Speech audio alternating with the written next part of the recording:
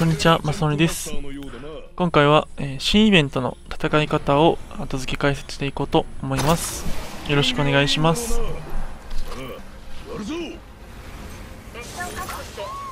まあ、いきなりちょっと失敗点があったんですけど、この一番最初の降下するときって、この列車のアンロックがすごい速くて、敵そのまま列車に降りてて、速攻で確保されちゃってすぐ取られちゃったんですけどこれちょっとまあ2回ぐらい経験したんで気をつけてほしいですね。一番最初の列車の時こうやってさって確保されちゃう時あるんで。でまあ積極的に確保しに来たんでまあ結構敵はこのモードやり慣れてる人なのかなと思ってまあちょっと近距離系の武器持ってるキャラに変えようと思って確かミラージュにするんかな？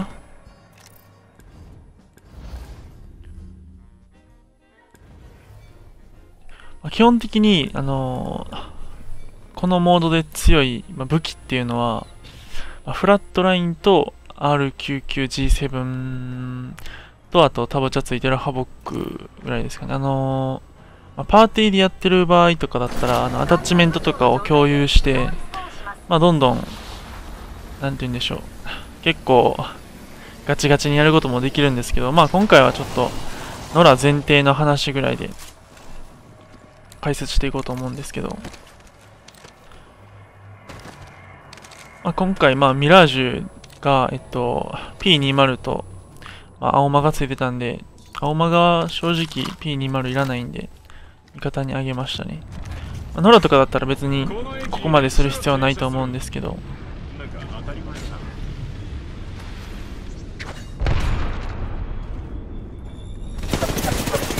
この後も失敗例って形でもう一個だけあるんですけど、基本的に、あのーよほど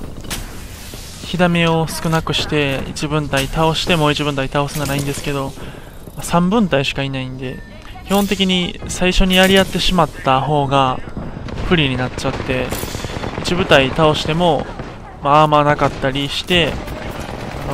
漁夫乗りを狙った敵に倒されちゃうってことが多いんで初めからいきなりこうやって列車の中でインファイトするっていうのはちょっとあんまりお勧めしないです。ねよほど打ち合いに自信があってとかじゃないとこうやって簡単に漁夫られて倒されちゃうんでできるだけ最初は中距離とかから、まあ、1枚削れたら削ってその人数差の有利を生かして、まあ、詰めたりするっていうのがまあその基本的な戦い方になるんじゃないかなと思います。まあ、今回はあのキャラごとに武器が決まってて、まあ、日替わりなんで、とね、まあ、一番のおすすめは、まあ、99と G7 を持ったキャラと、と、まあ、今回このパスファインダーのフラットラインとエヴァ8を持った組み合わせが僕の個人的な中では強いなと思ってます。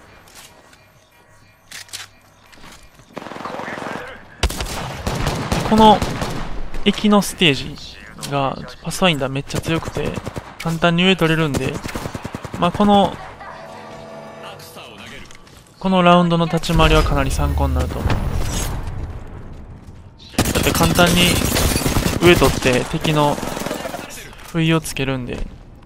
かなりパスファインダー強いですね。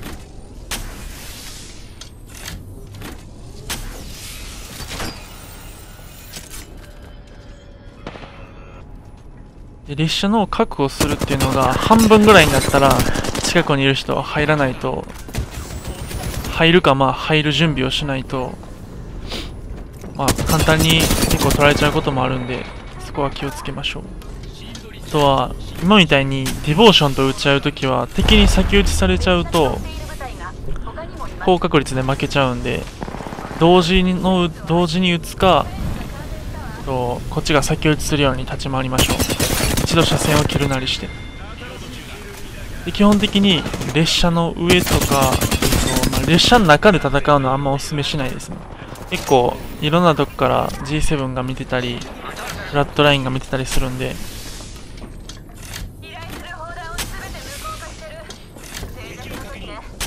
もう完全にこれポスファインだってこんな感じでとあの上の部分取っとくだけで、まあ、基本勝てるんで、まあ、最初にあの優先的にパスファインダーを倒したっていうのもあのパスファインダーがいたら自分が上にいる時にやられる可能性があるからパスファインダーを狙ったんですけど。あの駅のとこに行く時はまあキャラ変えてでもパスファインダー使うことをお勧めします。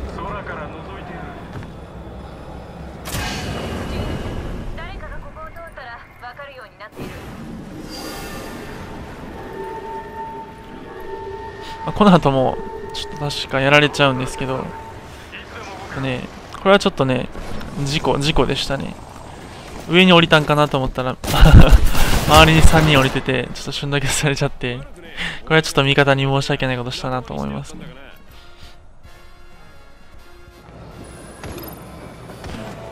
まあ、こう味方の視線でまあ立ち回りを言うとすると、まあ、ワトソンなんでこうやって部屋の中にたくさんトラップ設置して敵が入ってこれないようにしつつみたいな感じなんですけど、まあ、ちょっとこのこのラウンドのこのマップだとちょっとあまりにも上が強いんでここはちょっとこもるのをお勧めしないですね。その各マップによって立ち回りっていうのも結構変わってきてあのずっと列車の中取っとく強いとこがあれもあればまあ、弱いとこもあるんで、まあ、ちょっとここは簡単にやられちゃいましたね、味方と共に。まあ、僕がちょっと人数不利を作っちゃったっていうのもあるんですけど、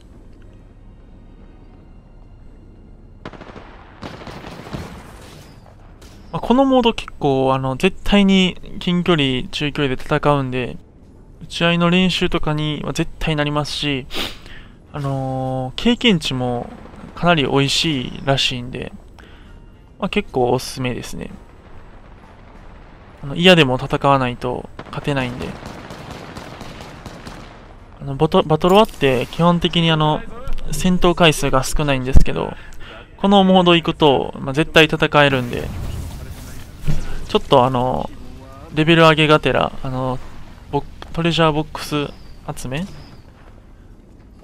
と一緒に並行して、まあ、戦いのスキルっていうのを身につけるためにも、ちょっとこもってみるのもいいかもしれないですね。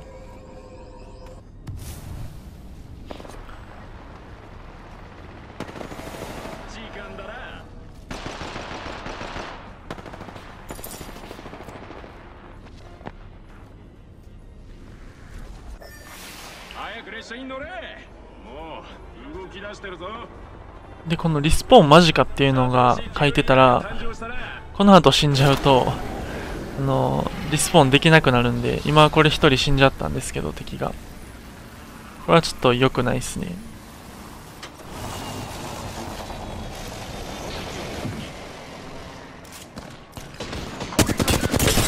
フラットラインこうやってブレひどいんですけど、こう敵が撃ち合ってるとこにばらまいてあげると、結構ダメージ出たりもするんで、フラットラインは本当強いですね、このモード。ハボックとフラットラインは本当に中距離でも結構解けたりするんで。で、こういうあの、孤立したような敵っていうのはどんどん倒しに行っちゃってもいいと思います。あの打ち合いに自信のある方は。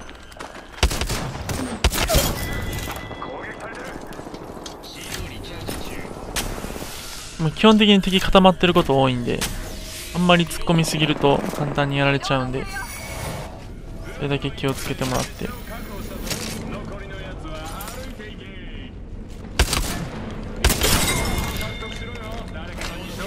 でこのエヴァ8が強い理由っていうのもジブこのモードもめちゃめちゃ強いんでエヴァ8であんな感じで結構ジブ大きいんで的もいい感じにエヴァ8が当たってくれてまあ、弾も8発あるんで、まあ、シールドがあっても倒せるよってことで僕はエヴァ8も強いと思ってます。ショットガンボルトの色に関係なくダブルタップだったら同じ速度で敵に弾飛んでいくんででまあこのマップのポジション取りで言うと僕は基本的に手前に降りてますね。あの奥の家の上でもいいんですけど列車行くまでに結構時間かかるんでこの岩上だったり岩周辺をいつも目標に降りてますね。これ左ですぐ足音聞こえたんで、ま、弾けるキャラなんですぐ弾きましたね。でパスファインダーが詰めてきたところを、まあ、なんとか倒せて。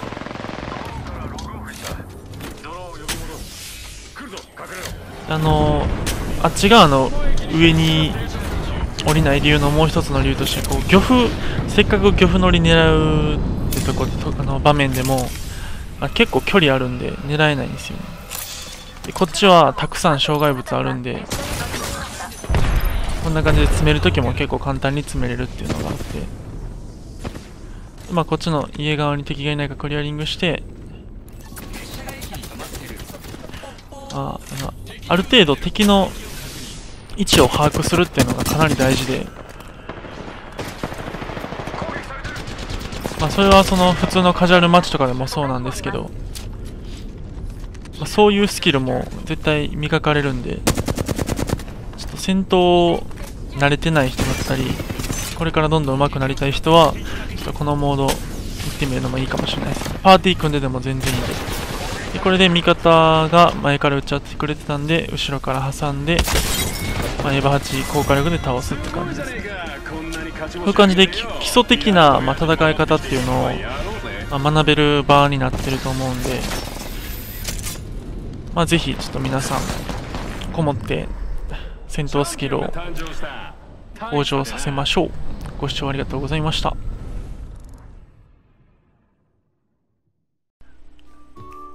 動画をご視聴いただきありがとうございます。高評価とチャンネル登録もぜひぜひお願いいたします。他にも Apex の動画を投稿していますのでそちらもぜひお楽しみください。Twitter のフォローもお待ちしています。それではまた会いましょう。またね。